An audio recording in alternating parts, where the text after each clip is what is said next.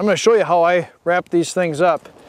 Now first thing I'm to do is I'm to kind of just try to get as much of this ice and slush and stuff off of the spool here as I can. Because of course that just freezes in before I go out the next time and uh, makes things harder. But what I'm going to do is I wrap the line up. I'll take off the old minnow.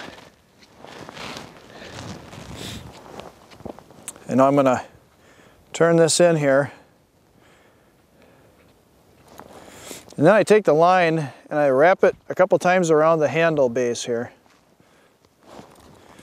Push this up. And then I've got a rubber band here to put around the back side of the tip up. And I use that to pull it tight and that pulls the leader tight here. So I don't have to worry about the line tangling up when it's in the bucket. Now I just put this up, turn my thumb screw, that in, and there you have it.